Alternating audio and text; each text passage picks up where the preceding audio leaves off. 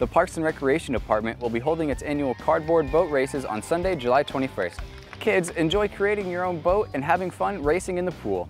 Boats are to be constructed of only cardboard and tape.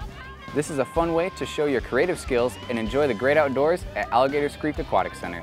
Prizes will be awarded for fastest boat, best decorated, and the Titanic Award. Following the boat races, enjoy the park's newest event featuring the Battleship Boat Challenge for the older kids.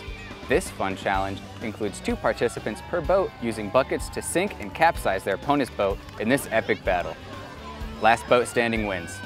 To enter, build the strongest battleship using only cardboard and tape and bring a bucket. All boats must be manually propelled and decorations are allowed. To get registered for either event, visit www.o'fallon.mo.us slash parks and rec or give the Parks Department a call at 636 379 5606.